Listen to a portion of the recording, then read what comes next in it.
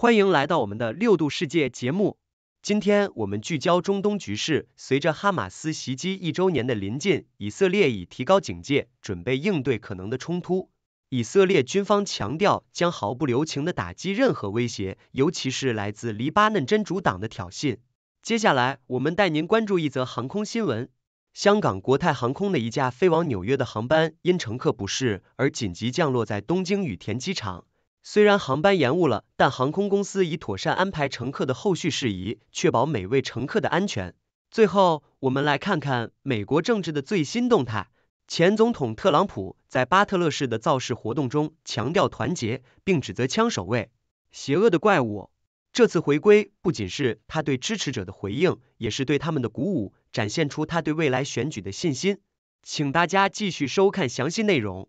星洲网报道，随着哈马斯于十月七日发动袭击一周年的临近，以色列军队进入高度戒备状态，并准备对伊朗的导弹袭击进行报复。以色列陆军总司令哈勒维表示，将毫不留情的打击黎巴嫩真主党。军方发言人哈加里强调，已准备增加兵力，以应对可能的攻击。哈马斯去年发动的袭击造成超过一千二百人死亡，至今以色列仍在与真主党进行激烈交战，并针对其背后的伊朗展开行动。以色列总统赫尔佐格指责伊朗是持续威胁，并表示以色列有权保卫自己。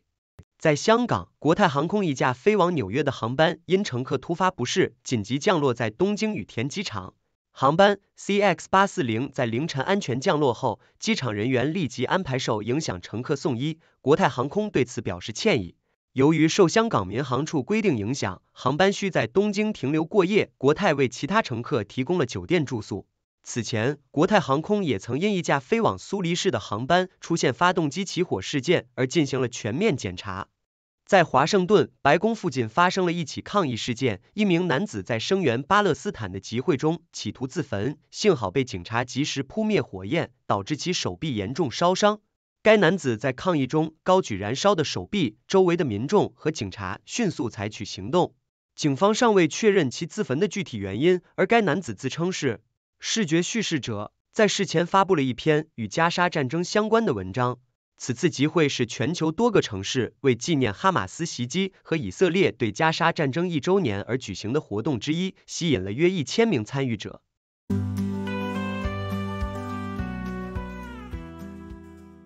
星洲网报道，台湾总统赖清德在双十晚会上发表讲话，强调的中华民国与中华人民共和国互不隶属，明确表示。中华人民共和国绝不可能成为中华民国人民的祖国。赖清德指出，中华民国即将庆祝一百一十三岁生日，而中华人民共和国的刚过七十五岁生日，这一对比凸显了两者的历史差异。他呼吁台湾民众团结，捍卫国家主权与民主自由，重申台湾是一个主权独立的国家。赖清德的言论引发了国民党的强烈反对，质疑其作为中华民国总统的立场，并呼吁他遵守宪法。在国际新闻方面，法国总统马克龙呼吁停止向以色列供应武器，尤其是用于加沙地带的武器。这一言论引起了以色列总理涅坦雅胡的强烈反击。马克龙在巴黎的法语国家峰会上表示，当前的首要任务是寻求政治解决方案，避免黎巴嫩局势升级。而涅坦雅胡则指责西方国家位于以色列站在同一阵线，应该感到羞愧。他坚称，以色列会继续与哈马斯及黎巴嫩真主党做斗争，无论外界支持与否。此外，马克龙在接受采访时重申了以色列的自卫权，但批评了以色列在黎巴嫩的地面行动，强调黎巴嫩人民不该成为牺牲品。他的言论引发了涅坦雅胡的反弹，认为这样的呼吁是在支持伊朗及其代理人，显示出国际关系中的复杂性与紧张局势。尽管如此，马克龙仍然表示将继续支持以色列的安全，并计划与加沙被扣人质的家属会面，展现出他在此问题上的关注与立场。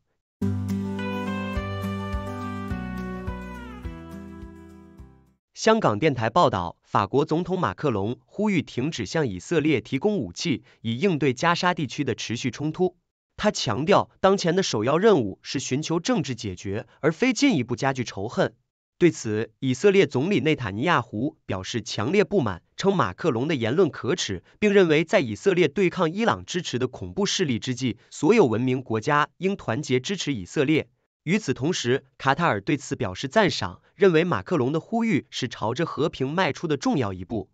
星岛日报指出，在以哈战争一周年之际，以色列军队加大了对加沙的军事行动。周日凌晨空袭了一座清真寺，造成至少十八人死亡，数十人受伤。该清真寺曾收容流离失所的民众，目击者担心伤亡人数会继续上升。以色列军方称，此次空袭是针对哈马斯的精准打击。而加沙卫生部的数据显示，自战争开始以来，已有近四点二万人在冲突中丧生，二百三十万人被迫流离失所，饥饿危机愈发严重。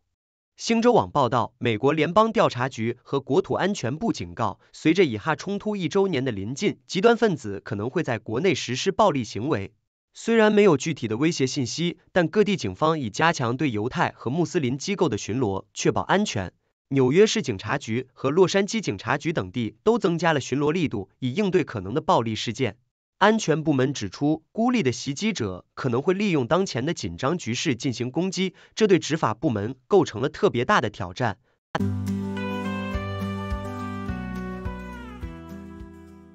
星洲网报道，以色列总理涅坦雅胡在近期的讲话中明确指出了以色列所面临的七大敌人，并誓言将进行不懈的自卫斗争。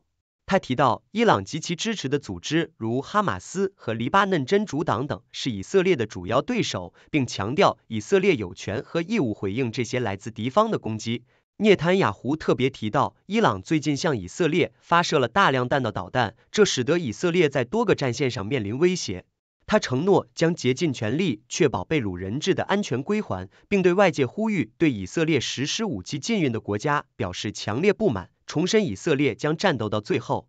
星洲网进一步报道，泰国清迈因暴雨引发了五十年来最为严重的洪灾，导致多个经济区和旅游景点遭到重创，超过五百名游客被困，平和水位急剧上升，淹没了多条道路，部分酒店也受到影响，游客与外界的联系几乎中断。当地政府迅速采取行动，出动水上交通工具进行救援，并呼吁游客尽快撤离。洪水不仅威胁到人类的安全，还对动物造成了影响，数百只大象被疏散，但仍有两头大象不幸遇难。此次洪灾在泰国造成了广泛的影响，多个府的家庭受到波及，损失惨重。星岛日报报道，新西兰一艘仅服役五年的军舰“马纳瓦努一号”在萨摩亚外海触礁后起火，并最终沉没，所幸舰上七十五名人员全部获救。军舰在触礁后严重倾斜，并冒出浓烟，最终于周日上午完全沉没。事件发生后，新西兰军方迅速展开救援行动，利用巡逻机和船只，确保所有人员安全上岸。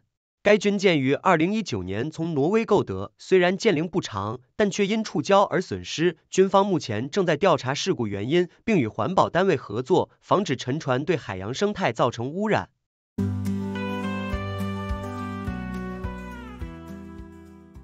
星岛日报报道，近日在美国白宫附近举行了一场支持巴勒斯坦的示威活动，吸引了约一千名参与者。在活动进行时，一名男子突然点燃自己的左手臂，试图自焚。所幸华盛顿特区的警察迅速赶到，并成功扑灭了火焰，救下了该男子，但他仍然遭受了严重的烧伤。至于该男子自焚的原因，目前尚无确切消息。警方已将其带走，并封锁了现场，示威活动随即被驱散。星洲网报道，前总统特朗普在宾州巴特勒举行了一场竞选集会，这是他在遭遇枪击事件后首次回到该地。特朗普在集会上称呼枪手为“邪恶的怪物”，并强调天意阻止了枪手的阴谋。回顾事件，特朗普在七月十三日的造势活动中遭到枪击，导致一名支持者死亡和数人受伤。此次集会中，特朗普向受害者致敬，并呼吁支持者继续团结，强调不能被恐惧所击倒。集会上，特斯拉 CEO 马斯克也现身支持特朗普，鼓励选民参与投票。星洲网还报道了中国与朝鲜建交七十五周年的庆祝活动。中国国家主席习近平与朝鲜领导人金正恩互致贺电，回顾两国在过去七十五年间的友好关系与合作。习近平强调中朝两国在维护国家主权和推动社会主义建设方面相互支持并表达了加强战略沟通与合作的愿望。金正恩则表示朝鲜将继续致力于巩固和发展与中国的友谊祝愿中国在建设社会主义现代化国家的过程中取得更大成就。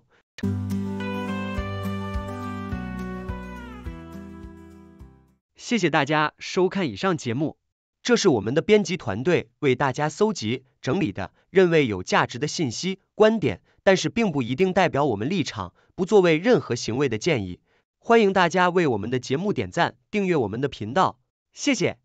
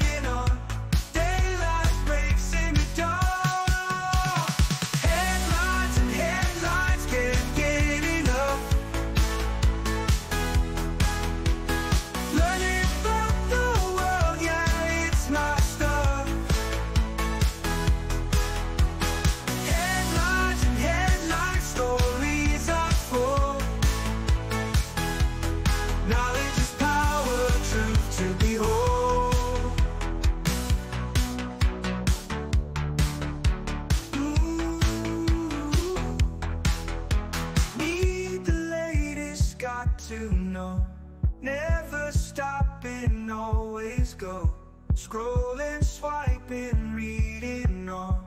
Daylight breaks in the dawn